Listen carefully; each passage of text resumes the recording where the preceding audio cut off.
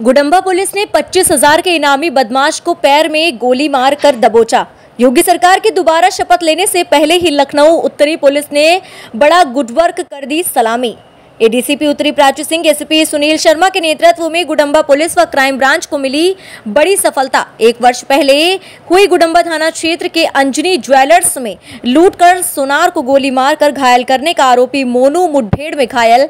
पच्चीस हज़ार के इनामी बदमाश को crime branch team SHO Aliganj, Dharmendra Yadav, SHO Gudamba Satish Chandra Sahu के साथ क्राइम टीम गुडम्बा के SI Maruf Alam, head constable Ashwani Dixit, head constable Avdhesh Giri की रही अहम भूमिका। के क्या इतिहास रहे हैं अपराध के? देखिए आज ये कुर्सी रोड और भाकरमो गाँव के लिए जो सड़क जाती है वहाँ पे इंस्पेक्टर अलीगंज अपने फोर्स के साथ चेकिंग कर रहे थे। और उसके उसी समय एक मोटरसाइकिल जो है काफ़ी तेज़ी से आया और उनको रोकने को कहा गया तो तत्काल बाएँ तरफ़ कट मारकर भागने लगा। जब उसका पीछा किया गया तो उसके द्वारा पुलिस पार्टी पर फायरिंग की गई। आत्मरक्षा जो पुलिस के द्वारा भी जवाबी फायर किया गया।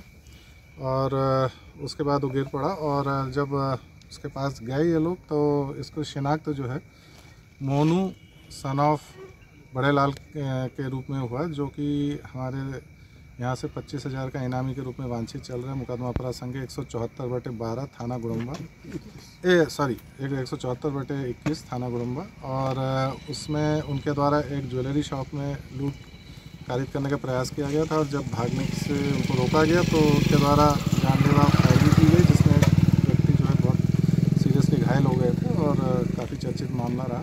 इन, ये जो है उन्नाव से भी अपराध कारित कर चुके हैं और करीब छः से सात मुकदमे अभी तक इसके हम लोग को ज्ञात हुआ है। पूरा ये क्राइम हिस्ट्री इसकी जो है अभी अपना हम लोग और लेने का प्रयास कर रहे हैं और ये से भी ये जेल गए हैं, ये ज्ञात हुआ है। इसको अभी प्राथमिक इलाज हेतु सी एच सी गुड़म्बा लेके जाया गया है।